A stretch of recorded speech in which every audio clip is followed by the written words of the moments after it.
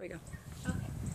So Zach Brown um, from the famous potato salad Kickstarter has challenged our Dogecoin to the SL Ice Bucket Challenge. Well, I don't have potato salad money.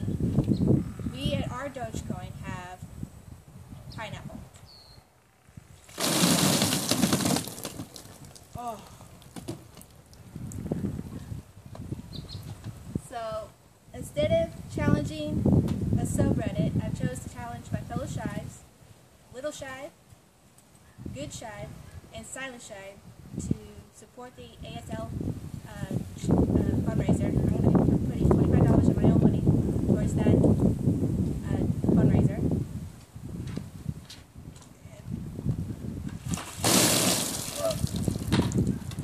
Support a worthy cause. Oh my god.